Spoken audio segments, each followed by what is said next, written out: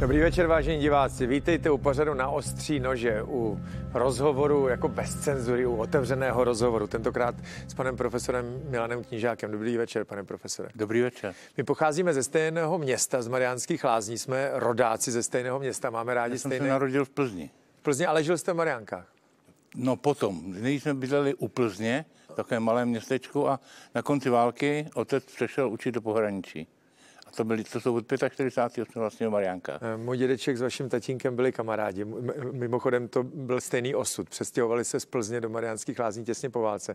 Jak se vám daří, pane profesore?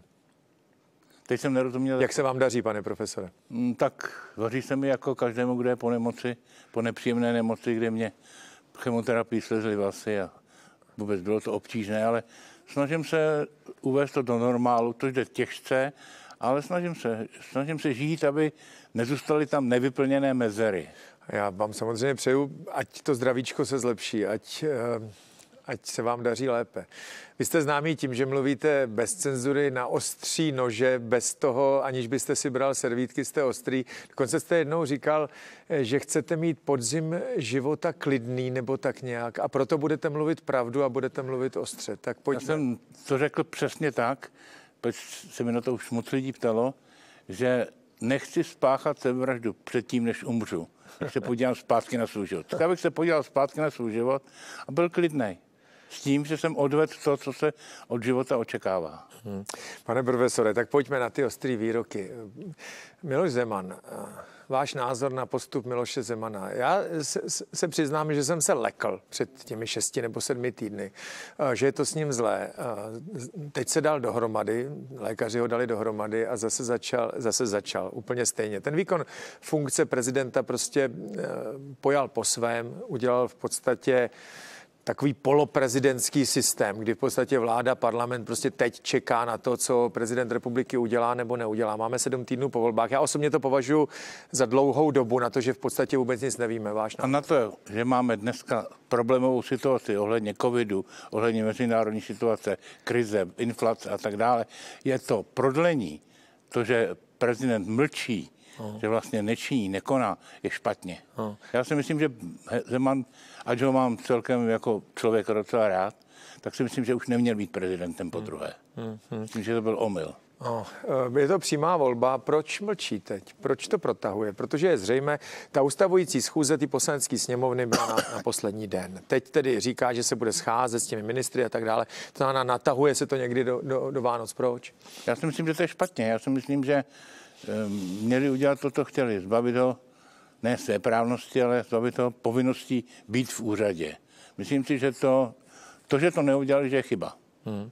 No tak zač, začíná, se, začíná to vypadat tak, že uh, se to bude protahovat. A teď jsem chtěl říci, že se to vymstí těm, kteří uh, chtěli ten, aktivovat ten článek 66. To asi ano, protože prezident to teď bude jako by natahovat. A jestli ta vláda vůbec bude jmenována a kdy bude jmenována, to je jako velký otazník. A mě je to jako nepříjemný, protože bych měl rád nějakou jistotu, aspoň v téhle covidové době. Vymstí se to všem. Hmm. Víte, my nepotřebujeme žádnou politickou vládu. My potřebujeme kvalitní úředníky, kteří budou pracovat tak, aby to bylo pro prospěch země. Víte, má být vláda neviditelná. Má pracovat a nemá být vidět. Má řídit společnost neviditelně, tak jako třeba ve Švýcarsku. Ale u nás to tak není. Naopak, čím dál tím více ty lidi zviditelňují, nebo za Babišovy vlády se zviditelňovali jednotlivci. A to já si myslím, že je samozřejmě špatně. Že ta společnost je bohatá, kde jsou bohatí lidé a vláda nebo stát nebohatne. Pak stát nemusí být bohatý. Musí být bohatí jeho občané. A já si myslím, že politika není podle mého názoru nic jiného než služba společnosti. Čili mocenské touhy, já nevím, prosazování vlastních názorů ve smyslu jako trucovitosti. Pak Zeman je trucovitým, mstí se, svalně věci protahuje a tak dále. A to si myslím, že do politiky a do vedení státu už vůbec nepatří. Hmm, hmm. Víte, on, oni se z mýho pohledu posunuli ho, hodnoty. Jo. Ať to bylo, jak to bylo, tak po nástupu Andreje Babiše k moci se posunuli jako hodnoty. Hodnoty, na kterých stojí vláda, na kterých eh, stojí nějaká mm, princip spravedlnosti při vládnutí eh, lidem. Ať je to, jak je to, tak všechny předchozí vlády se nějakým způsobem odkazovaly k listopadu a hodnotám pravdy nebo spravedlnosti a tak. A ten čistý oportunismus, dobré je to, co je pro mě výhodné. Ten tak viditelný jako by nebyl.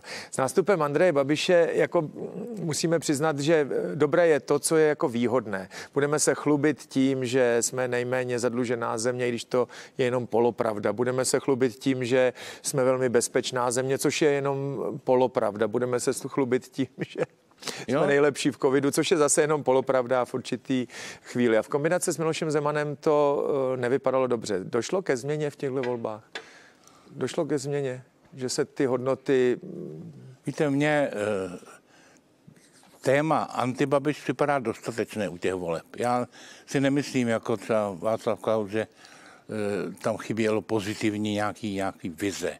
Já si myslím, že když v, v čele společnosti stojí člověk, který je, který lže naprosto prokazatelně lže, který vnáší do své řeči hrubost, do svého jednání hrubost, který je na pomezí zákona. Možná, že za hranou, to ještě nevíme, pak se to tom zatím nejedná. Ale tak takový člověk, když stojí v čele národa, tak ten národ hrubne. Mění hodnoty. Hmm. Stává se něčím, čím být nechtěl. Všechno to, co platilo a co má platit v takové společnosti, to znamená určitá čest, ctnost, jak se slušné vztahy, to vyvanulo z té společnosti. No to jsem právě myslel, zhruba tohle jsem myslel, ty se to pojmenoval těmi hodnotami. Nějaká pravda, pravdomluvnost, eh, slušnost, to, že poctivost funguje, to, že když je člověk poctivý, tak nemůže prohrát a tak. A to s tou érou Andreje Babiše, jako ta důvěra v to byla nalomená. A vy říkáte, společnost zhrubla a tyhle ty hodnoty přejímá. Zhrubla nejenom ve slovech, ale i to, ale i v myšlení. To myšlení je utilitární, to myšlení je, eh, se zajímá jenom samo sebou, tím subjektem, kterým je. A mm, neuvažujeme o společnosti, o vztazích. Navíc k tomu ještě máme e, počítače, který nás od lidí vzdalují, nezbližují. To, že se můžu za 10 vteřin propojit s někým na druhém konci světa, ještě neznamená, že jsem něčemu blíž. Naopak, tady se izoluji. Ne, víte, jeden korejský myslitel řekl, že člověk se má především starat o to, co je mu nejblíž. My tady třeba demonstrujeme proti ničení pralesů v, v Jižní Americe, ale doma to, co máme před barákem, vedle baráku, kolem nás, to nevidíme. Hmm. Tam se máme starat, kde jsme, kde tomu rozumíme, kde to můžeme ovlivnit.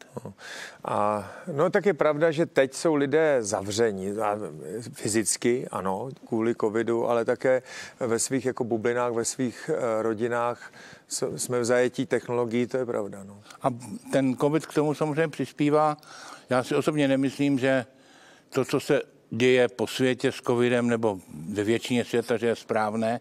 Já si myslím, že to je, že by se to mělo řešit zcela jinak, ale já samozřejmě nejsem lékař, ale si myslím, že i lékaři mají tak rozdílné názory, hmm. že e, nelze. Tak ne, ne, nejsme, ne, nejsme epidemiologové, eh, nej, ale nevíme. To, o tom to není. Eh, ale vidíme dva přístupy. Jeden necháme být, necháme to být a budeme teda očkovat asi spousta lidí zemře, ale necháme tedy ten život takový, jaký byl a budeme se snažit jakoby očkovat. Když to přeženu velmi jednoduše.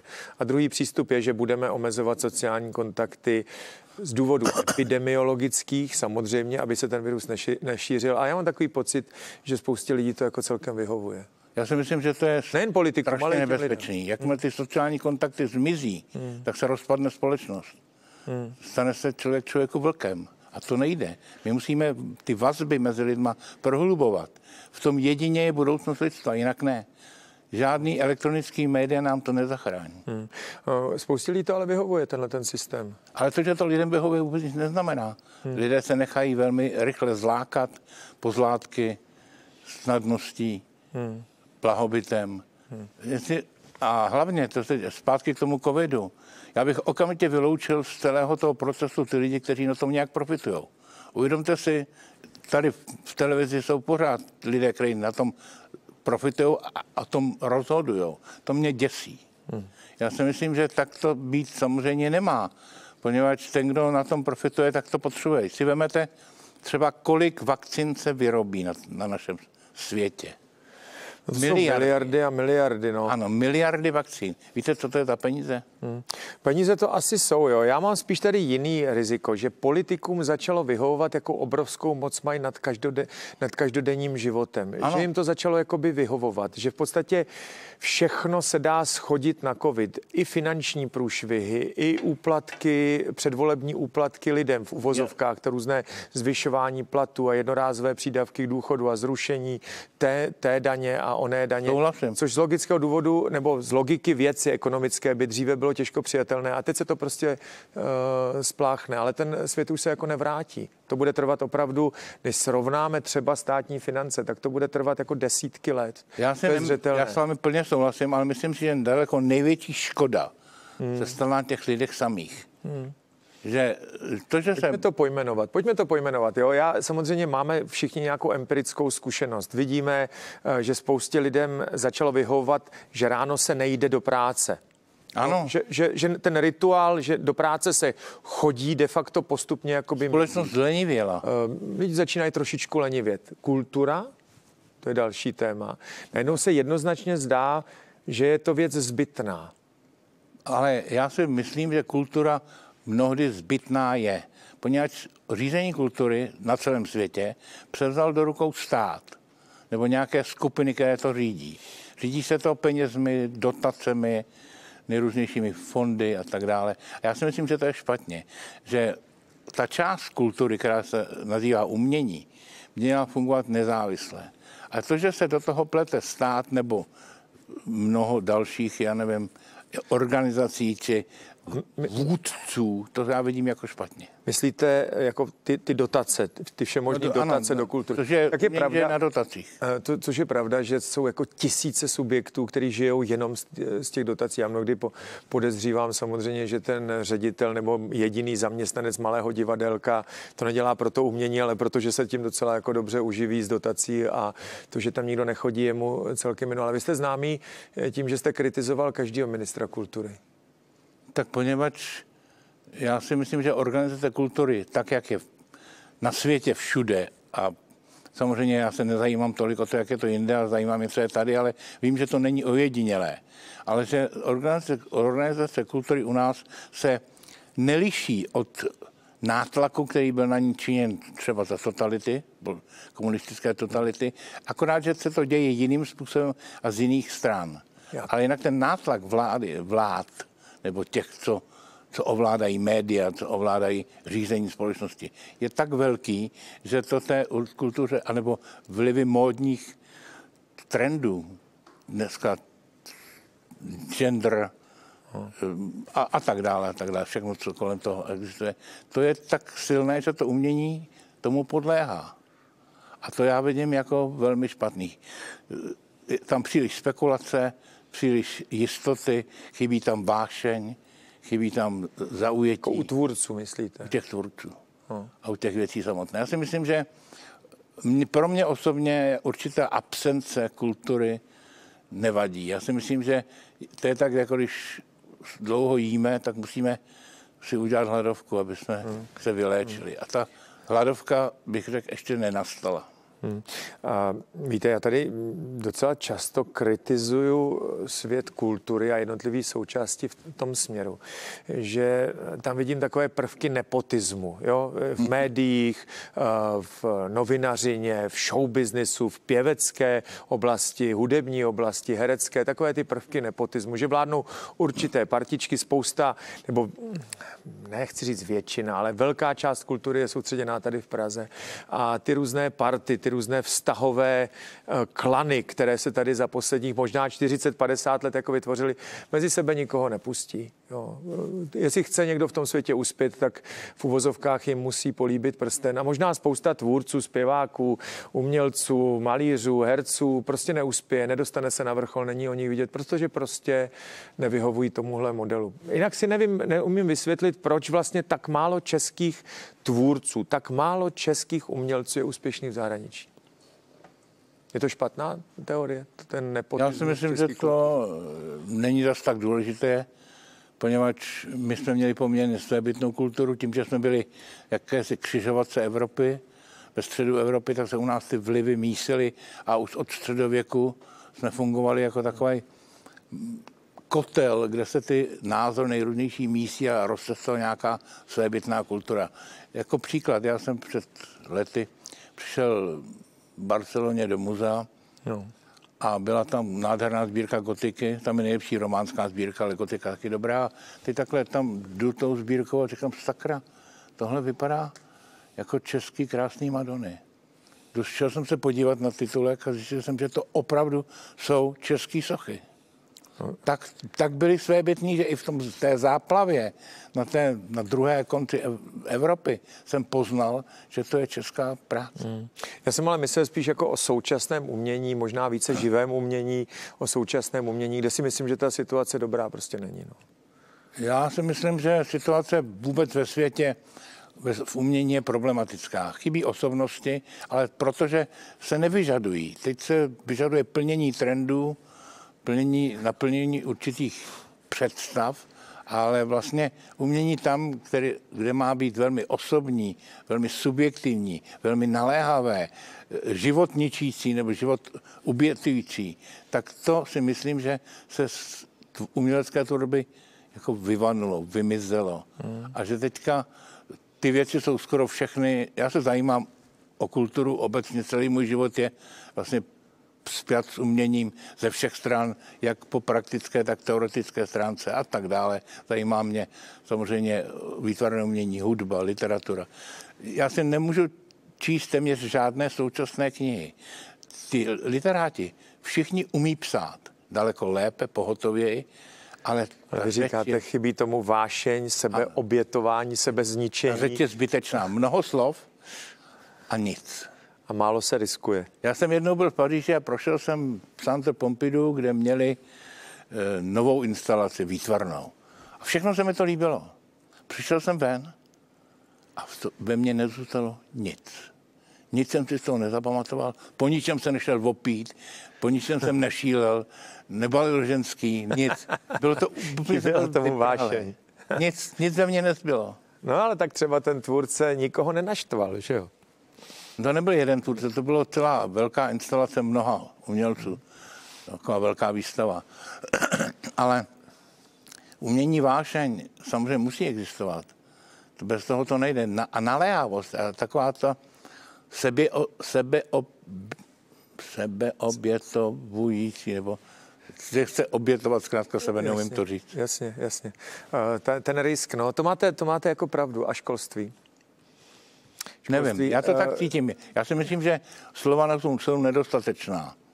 No. Já vám rozumím, já myslím, že diváci uh, také, že pokud to není vášeň a ten risk uh, obětovat všechno svoje jméno, svůj, svoji kariéru, třeba finanční neúspěch, protože chci stvárnit to, co prostě cítím, eh, je vidět jako málo. Jo. Já samozřejmě můžu hodnotit více méně eh, živé umění, které je vidět. Eh, neznám tolik výtvarnou scénu. Umění se tolik... nemusí hodnotit. Umění, umění nemusíme ani rozumět. Hmm. Umění musíme potřebovat. Hmm. Musíme ho potřebovat, aby do našeho života vniklo. A když hmm. tam není nic kolem nás, čemu bychom dovolili vniknout, nebo co by samo násilně do nás vniklo, tak je to špatný. Hmm. Tak se možná nejedná ani o umění. Hmm. A školství? Rok a půl byly zavřené školy, teď už je to zase tak jako na půl. Jo. Spousta dětí je v karanténě, vysoké školy už si rozdělují tu výuku na online část a prezenční část. Je zřejmé, že dříve nebo později v příštích měsíců, měsících zase dojde k nějakému uzavření uh, no škol, přednáškových to... sálů, což už bude znamenat opravdu, dejme tomu, polovinu školní docházky u vysokoškoláků bez prezenční výuky. To bude a to už je hodně. Jo, a to už je hodně. No. To jsou, jakmile zmizí osobní vztahy, A ty už mizí teď, nebo mizeli před covidem, poněvadž eh, ty vysoké školy jsou předspaný. Tam je strašná spousta posluchačů, takže ten osobní vztah kantora a posluchače je čím dál tím menší. A to já si myslím, že, že je špatně. No. Že tam přece jenom musí existovat ta osoba toho pedagoga, kterou ty studenti pomalu odkrývají. On se jim nemusí věnovat, nabízet, ale musí tam být stabilně a oni musí nějakým způsobem k němu vlížet, dostávat se, čerpat jeho nálady, které jsou všude obsaženy a které jsou plní informací, zkušeností. Hmm. A to, to teď je čím dál tím méně. Hmm. Zaprvé se ty kantoři bojí nějak zasáhnout, bojí se negativně hodnotit, pač pak je negativně hodnocená škola, nepřicházejí tam lidé, nemají z toho dostatečné zisky a tak dále. A potom lidé se brání u soudu, když je pedagog špatně hodnotí. Takže už ty vztahy jsou třeba se podíváte na americké univerzity, to je naprostá tragédie. To jsou školy, které vysloveně škodí společnosti. Hmm. A teď jako další téma, mě zajímá váš názor. Jo? Teď k nám z Ameriky, a ono se to valí Evropou, je taková ta vlna objevování nebo vyhranění společnosti, odmítnutí sexuálního násilí. Jo. Teď eh, ta vlna, kdy se objevují uh, osobnosti, většinou známé osobnosti, které se v minulosti dopustily sexuálních útoků pro hřešku a podobně, tak ta se dovalila i k nám. Teď uh, vidíme ten případ doktora Cimického. Já to nemůžu hodnotit, já o tom nic nevím, ale podle všeho vypadá, že to byl prase, že jo? nebo že se choval jako prase. Jak hodnotíte tuhleto vyrovnávání se, se sexuální násilí? A ono je to jako součást součástí samozřejmě nějakého pojmenování rovnoprávnosti žen a mužů. Jo? To, to, takhle to je, pod, pod povrchem těchto těch kaus, takhle to je. Ne, nevidím, já si myslím, že je to velký problém. Když znám takové věci velmi dobře a vím, že to musí chtít vždycky dva. To, když žena nechce být znásilněna, tak ji žádný slušný člověk neznásilní. Ten, kdo ji zmlátí, znemožní, zabije nebo sváže, tak samozřejmě ano. Ale pokud dojde k normálnímu styku dvou lidí, tak ten druhý se musí nějak aspoň pasivně účastnit. Čili, a pokud s tím nesouhlasí, tak může protestovat jak hned, tak následně. 30 let nebo kolik, jak se nic nestalo a po 30 letech přijde někdo bez okolností nic, jen tak a řekne, on mě obtěžoval. Ale proč tedy 30 letý to nevadilo teda mě? Hmm. Tak eh, ty psychologové říkají, že eh, je to prostě syndrom, eh, že se s tím nevyrovnávají. Tady v případě toho Cimického to bylo předpokládejme tak, že zneužil tu svoji pozici lékaře vůči ale ano, ale pacientce a že teď? se prostě báli. Proč to říká až po tolika letech? Já s tím nesouhlasím, já si myslím, že hmm. je to špatně. Že věci se mají řešit hned. Pokud hmm těm ženám to, já vím, kolik žen schánělo kariéru přes, takzvaně přes postel. Byli to cíleně to dělali. A teď možná, že některé z nich přicházejí a... No, tak eh, část samozřejmě z nich, eh, zejména v Americe, tady to tak rozšířené není, eh, se takto chovali, bylo to tehdy tolerované, dokonce vyžadované a teď se proti tomu vymezují, ale je to celosvětový trend. Když sochy lidí nebo zakazují, já nevím, umělecký díl lidí, kteří žili v jiné době, měli jiné hodnoty, no. nemohli vypadat jinak, to nešlo ani. Víte, z úcty k vám se s vámi zase nechci tolik konfrontovat, ale zajímá mě váš názor. A ta LGBT, to, to lesbian, gay, uh, trend teď, který teď vidíme. Uh, hovoří se o, nebo celosvětově se hovoří o manželství gejů a lesbiček, o uh, definitivním zrovnoprávnění veškerých práv, které, uh, které mají. Teď je to tak, že tady máme registrovaná partnerství, pokud mluvím o tom svazku dvou lidí. Máme registrovaný partnerství, ale přeci jenom některé práva jsou jim upřeny. Práva na zdravotnické informace nebo zdravotní informace, některá majetková práva a tak, nebo se to dá velmi komplikovaně řešit. Úplně rovnoprávné to není. Já si myslím, že to nemůže být rovnoprávné. Víte, menšiny jsou k tomu, aby byly respektovány. Ale menšina nemůže dávat direktivy většině. Kdyby všichni jsme byli gejové a lesby, tak bychom neexistovali. Tak bychom přestali se množit. Čili to nelze samozřejmě. Manželství něco jiného než homosexuální svazek. Je, pač rodina je něco jiného a jejím základem jsou rozdílná pohlaví, aby mohlo vzniknout dítě, aby mohl být hromaděn majetek a tak dále. Ten majetek zůstává u homosexuálů ale také a musí, může být, a dokonce musí, být ošetřen. Já souhlasím s tím, aby oni, pokud někoho milují, anebo se rozhodnou s někým žít, tak ať jim to um, je umožněno se všemi právy. Manželství ne. Manželství ne, protože to neplní svoji funkci. I právně, i jako společensky je to jiná instituce. Hmm, hmm. Ne, eh, a teď počet těch pohlaví. Jo. Tady já jsem teda úplně radikální, já si myslím, že eh, příroda nás stvořila, že jsou dvě pohlaví a teď vidíme to, že se eh, pohlaví má volit, že nám není dáno, že se, že se může zvolit a že je spousta různých mezifází, mezistupňů. A... Tak člověk si hraje na Boha, to jste si nevšiml, to je taková oblíbená hra. Hra. A samozřejmě já jsem hledal 71 pohlaví, protože jsem přišel to číslo řekl jsem si, že se někdo musel zbláznit.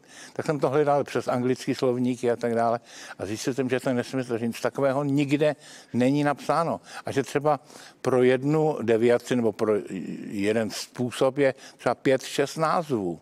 A to nelze sčítat. Zkrátka, našel jsem takových, dejme tomu, i když s tím nesouhlasím, tak 10 rozdílností, ale 71 to je to číslo, které jsem zase je naprosto. Já jsem slyšel 42, ale je to celkem jedno, jestli 42, 71 nebo 58, podle mě jsou pohlaví dvě. Pane profesore, já se omlouvám, já jsem se ptal na tyhle kontroverzní témata, protože vy se prostě nebojíte, jako málo kdo řeknete jasný názor. No. Ne, to, já si něco myslím, jsem o něčem přesvědčen.